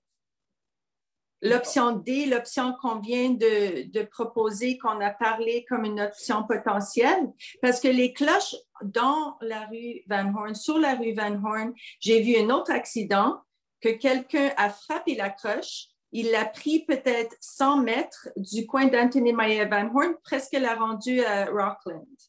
Donc, honnêtement, je, avec tout respect, je ne crois pas que les cloches euh, vont sauver le problème du tout. Ben, en fait, euh, en fait euh, Madame, je, je, comprends ce que vous dites sur les cloches, mais mieux vaut que quelqu'un frappe une cloche que frappe une personne. Bien sûr, tout à fait. Donc, quelqu'un quelqu'un qui frappe une cloche, bien franchement, c'est parce qu'il va extrêmement rapidement. Exact. oui, tout à fait. ou soit que ce soit une erreur de conducteur ou conductrice, euh, peut-être au lieu de peser sur le frein, ils ont pesé sur l'accélérateur, je ne comprends pas, mais pour traîner une de ces cloches-là, il euh, faut vouloir, faut vouloir oui, le traîner. Oui, tout à euh, fait. Et c'est un exemple de la, de la, gravité de la situation. Parce que si c'était un piéton, elle ou il serait mort. Donc, pour la court terme encore, ça c'est ma question. Qu'est-ce qu'on fait dans les prochaines semaines, s'il vous plaît? Ben, voilà. Euh, là est la question.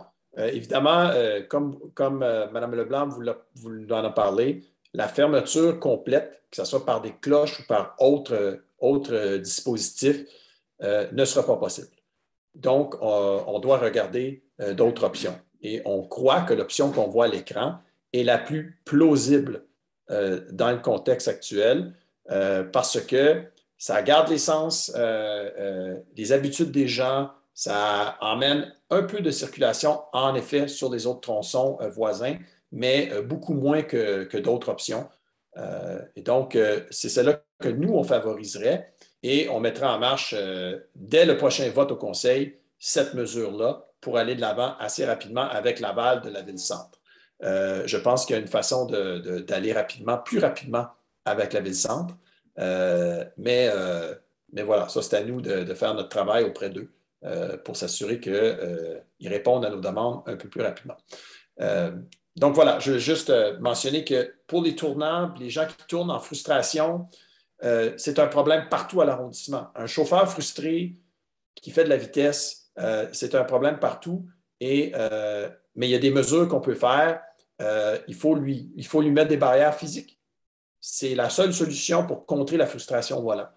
Euh, donc, euh, donc, je vous dis que la fermeture possible, la fermeture n'est pas possible au complet, mais euh, on peut trouver d'autres choses. J'ai une autre idée. J'ai une autre idée. avant, on avait le stationnement sur la rue Van Horn. On nous a enlevé. On a gardé le stationnement sur la rue Van Horn entre Heartland et Dunlop mais elle a disparu entre Heartland et Antonin Maillet. Je crois que les voitures stationnées sont une barrière physique plus grande et plus évidente que euh, les blocs de ciment. Est-ce qu'on pourrait remettre le stationnement sur la rue Van Horn entre Antonin Maillet et Heartland? J'imagine que Mme Leblanc, Mme Nobert pourraient évaluer euh, cette possibilité-là. Euh, à première vue, pourquoi pas? Mais en même temps, lorsque j'y pense, lorsqu'on a un véhicule de stationner, on a quelqu'un qui rentre et qui sort du véhicule. Euh, donc, on met, il y a quand même ça aussi, mais a priori, on va l'évaluer. Je ne vois pas comme quoi ça pourrait être une, si grande demande que ça. Aujourd'hui, je revenais avec mon fils. De, je venais chez nous, puis j'ai passé sur Pratt, euh, dont j'étais en direction est. Je passais Pratt, Dunlop, puis Heartland. Et un monsieur est allé faire une... Euh, il a passé un véhicule sur la côté droite. Il a presque frappé le, le borne en ciment. Puis il a fait une, je sais pas, une vitesse de 50 km. Puis là, il est allé devant lui. Et je me suis dit, il pourrait pas faire ça s'il y avait une voiture. Lui, il a fait ça entre Pratt puis euh, Dunlop, mais entre Dunlop et Hartling, il pouvait pas le faire parce qu'il y avait trois voitures stationnées. Et c'est là que j'ai eu l'idée. Merci, on, va, on en prend bonne note. Euh, Parce que l'autre chose, c'est que qu'est-ce qui arrive lorsqu'il n'y a pas de voiture de stationner? Il n'y a pas toujours une, voiture de stationner. Mais absolument, nous prenons bonne note de votre demande et je regarde Mme Leblanc qui hoche la tête. Euh, nous allons l'évaluer euh, euh, dans le cadre du projet. OK, un dernier commentaire. Plusieurs voisins ont dit que la signalisation, elle n'est pas évidente sur la rue Van Horn, surtout pour celles-là qui viennent de la joie à Van Horn. L'arrêt, il n'y en a pas comme un avertissement qui doit ralentir. L'arrêt, n'est pas visible. Euh, peut-être on pourrait aussi faire quelque chose avec la signalisation. Et je ne sais pas si c'est le cas aussi de Ducharme à, Van Horn, mais peut-être regarder si les gens voient bien, s'il n'y a pas des obstructions euh, ou peut-être euh, quelque chose qui pourrait être amélioré. On se regarde, mais prochainement, très prochainement, s'il vous plaît.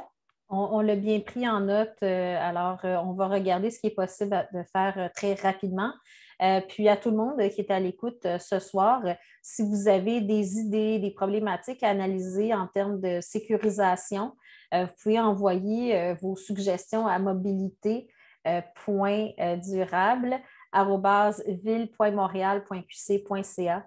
Alors, ces demandes sont analysées par le comité de sécurisation où il y a l'ensemble des parties prenantes qui font des recommandations au conseil alors, euh, je laisserai, euh, et là, désolé, je n'ai pas votre nom, j'ai juste Galaxy Tab A. Euh, la parole est à vous.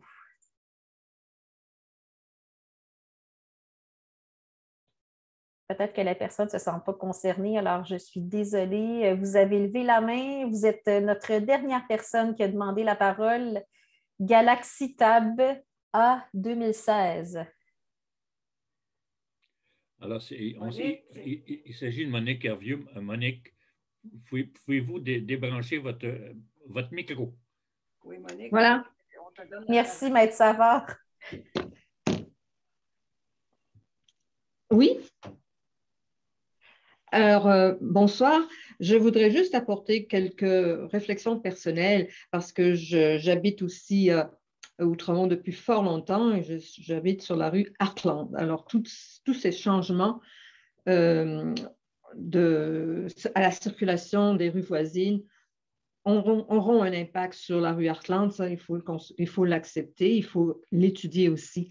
Mais avant tout, quand au début de la réunion, vous nous avez donné des chiffres, vous avez relevé le nombre de voitures, le trafic dans nos rues euh, résidentielles, Dunlop, Artland, Anthony de Maillet. Euh, ça peut aller jusqu'à 4 à 500 voitures qui, passent, qui transitent par jour. Euh, c'est énorme pour des petites rues résidentielles qui ont, enfin, de mon côté de rue, la joie Vanon, peut-être ben, même pas 50, 50 euh, résidents. Donc, euh, normalement, les, gens ont une voiture, il n'y a pas autant de trafic, il n'y a pas de trafic des résidents qui gênent sur nos rues. Alors, le trafic, il vient des, des, automobilistes qui arrivent par Côte-Sainte-Catherine et qui s'engagent dans Outremont, utilisent nos rues euh, résidentielles pour aller rejoindre le viaduc Rockland. Donc, ceux qui, nous, on a un feu, nous a mis un feu il y a plusieurs années, donc euh, ça règle un peu la situation. Euh, mais je comprends que sur, euh, et quand je marche sur Vanon pour aller à la pharmacie, par exemple, je vois des personnes qui veulent, des automobilistes qui veulent traverser Vanon sur, par Antonine Maillet c'est difficile. Il y a, c'est difficile de traverser parce que le trafic est assez important.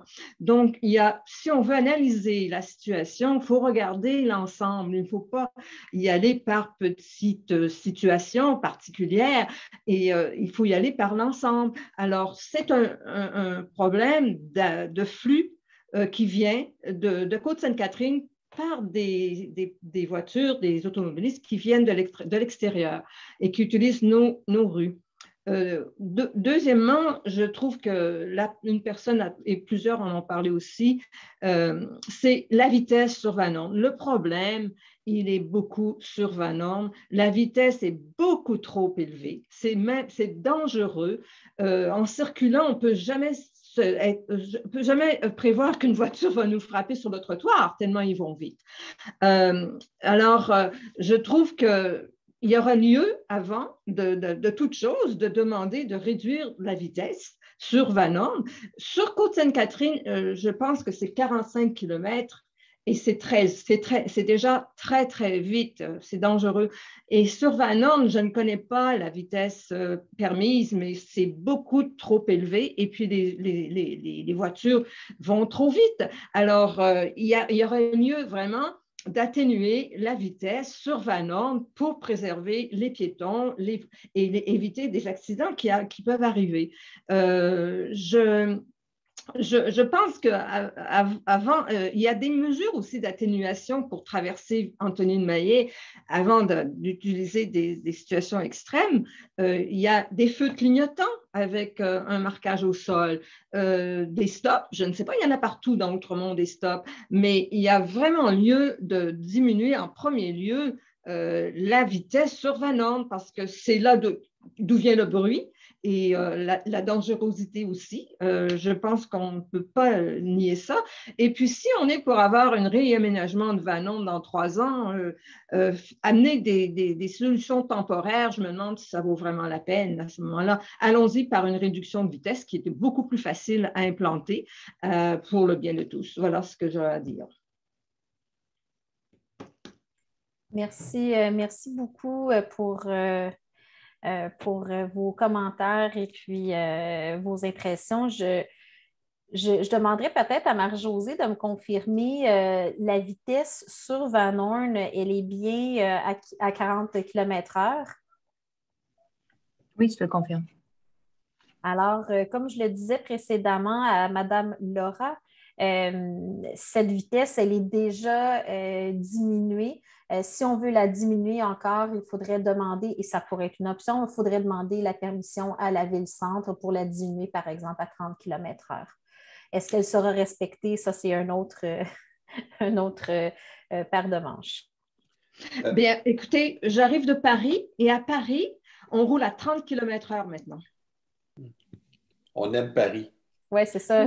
on n'est pas contre du tout. Je pense que euh, c'est des choses qu'on s'est déjà parlé, puis même dans nos rues résidentielles, de réduire la vitesse. Euh, euh, je pense qu'il n'y a pas d'enjeu. Je, faisais juste un clin d'œil à Mme Laura qui disait que les vitesses étaient élevées, mais notre vitesse, en théorie, la limite, elle est à 40 km/h. Est-ce que je peux me permettre une réponse sur une vue d'ensemble? Euh, oui, euh, puis peut-être, M. Tomlinson, euh, étant donné qu'il est 8h05 et qu'on a déjà dépassé en théorie notre une heure de rencontre, je vais peut-être laisser une autre intervention, la vôtre et puis celle de Émilie, et puis je vais nous inviter à conclure par la suite. Donc, tout simplement, Madame, vous avez bien raison sur une vue d'ensemble. D'ailleurs, l'an passé, nous avons mandaté l'administration pour débuter ce que nous, on appelle un plan global de sécurisation euh, pour l'ensemble des rues et ruelles de l'arrondissement. Donc, euh, euh, il y a un processus d'entamer pour faire justement cette, cette, vue, avoir cette vue globale sur l'ensemble du territoire pour non seulement avoir une meilleure, une meilleure vue sur où sont les endroits problématiques, mais aussi dans un cadre de trouver des solutions, quels sont les impacts de ces solutions-là dans un, dans un cadre plus global. Euh, donc, euh, cette, euh, cette, réflexion, je dirais, est entamée et nous espérons avoir terminé notre réflexion, ben, disons, l'été prochain. c'est quand même c'est assez costaud comme plan. Donc, toutes les rues, toutes les ruelles de l'arrondissement. Donc, on espère y arriver l'an prochain pour justement avoir cette perception-là qu'on a besoin, justement, parce que vous avez raison, de faire des petits bouts comme ça, euh, ça ne nous donne pas grand-chose parce que là, on, parle de l'impact sur un, sur l'autre, etc. Dès qu'on fait un changement, ça a de l'impact. Donc, il faut avoir cette, vue d'ensemble. Merci. Merci, M. Tomlinson. Euh, euh, Madame Bouchard.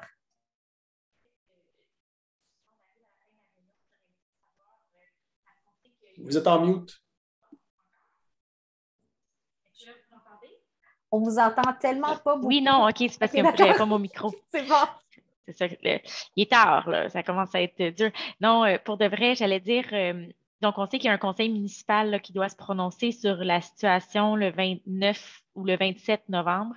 Je me demandais là, de la discussion qu'on a eue depuis la dernière heure et demie, euh, qu'est-ce qui va être fait? Qu'est-ce que vous allez, comment vous allez modifier euh, le projet proposé? Quelles options vous allez finir par mettre dedans?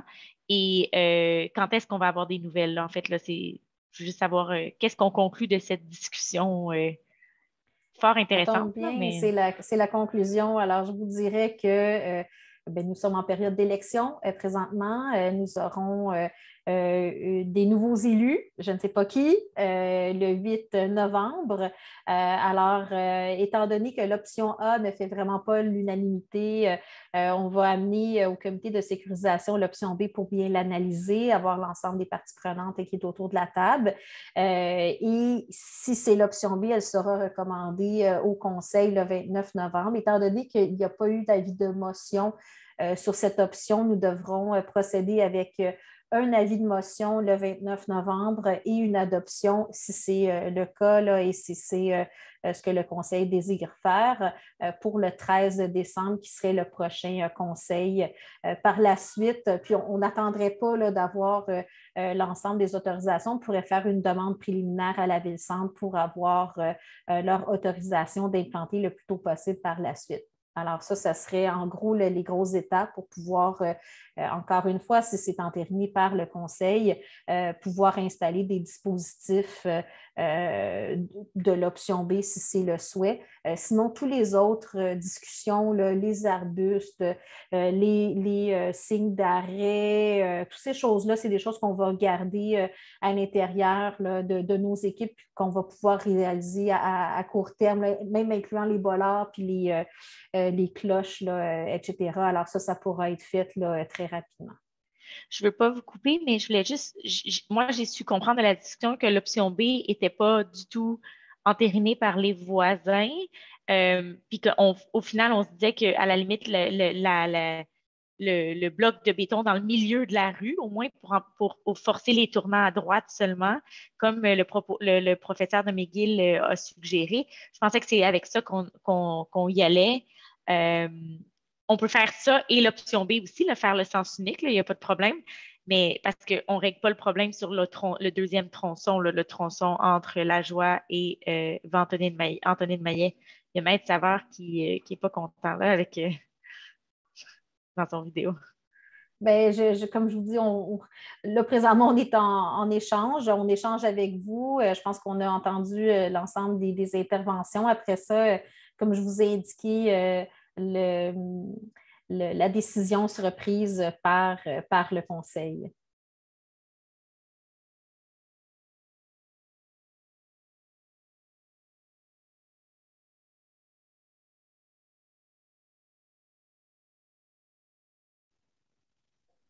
Vous êtes en mute, je pense, Madame Leblanc. Et vous avez raison, Madame Bonamy. Alors, euh, comme j'avais indiqué, l'iPhone, je ne sais pas qui c'est, euh, mais j'avais dit, que ce serait la dernière intervention pour ce soir. Il est déjà 8h11. Alors, euh, si vous me permettez, M. Tomlinson et Mme Magini, je vous laisserai la parole pour le mot de la fin.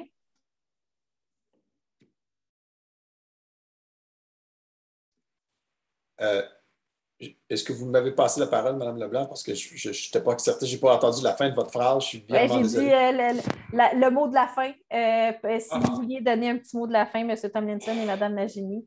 Bon, ben, peut-être euh, Mme Magini pourra compléter. juste pour le processus, évidemment, on aurait pu attendre à la fin de l'élection. Je pense que ça aurait, été, ça aurait été quelque chose qui aurait été faisable, mais on voulait absolument passer une première mouture d'un projet parce que ça prend deux votes au Conseil, donc deux sessions du Conseil. Et quand on sait que les conseils, souvent, euh, euh, sont à chaque mois, euh, ben, on voulait entamer le processus pour pouvoir justement venir à votre rencontre, discuter tout ça. Donc, c'est pour ça qu'on l'a fait la dernière fois et c'est pour ça qu'il ne reste qu'un seul, seul vote à avoir. Donc, juste, juste là-dessus, on voulait aller le plus rapidement possible dans notre processus qui existe.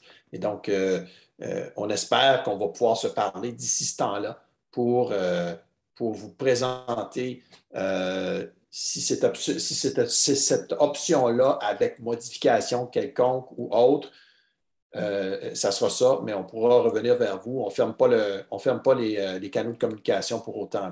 Donc, voilà de ma part. Merci vraiment pour votre participation. Ça a été extrêmement bénéfique d'entendre tous vos commentaires, de recevoir tous vos commentaires sur ce dossier-là. Euh, pour un dossier qui est quand même très important. Donc, je ne sais pas si Mme Magini veut compléter, mais pour moi, ça va. Je vous remercie euh, énormément. Oui, donc euh, bonsoir. Désolée, j'ai dû aller chercher mon fils à son cours de Kung Fu qui finissait à 8 heures, mais je vous écoute dans la voiture. Ben, merci. Je voulais remercier vraiment tout le monde pour vos, vos interventions. C'est sûr que personnellement, je vais retourner auprès du chercheur avec les différentes options qui ont été qui ont été discutées ce soir. Donc, l'option B, peut-être même une option B euh, améliorée.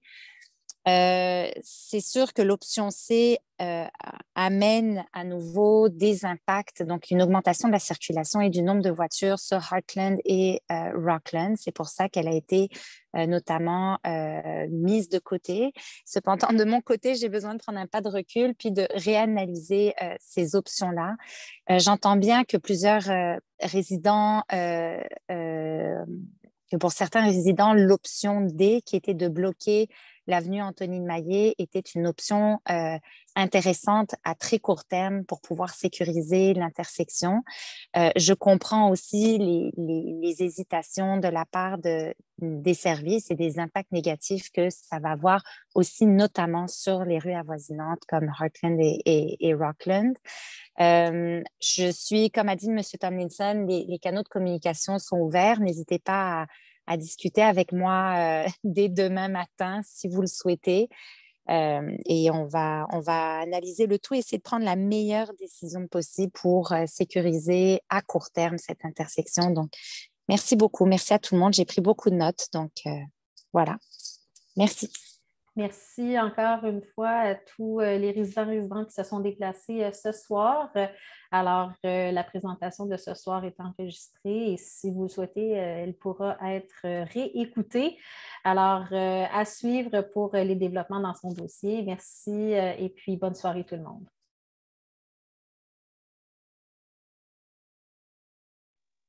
Merci à vous. Bonne soirée.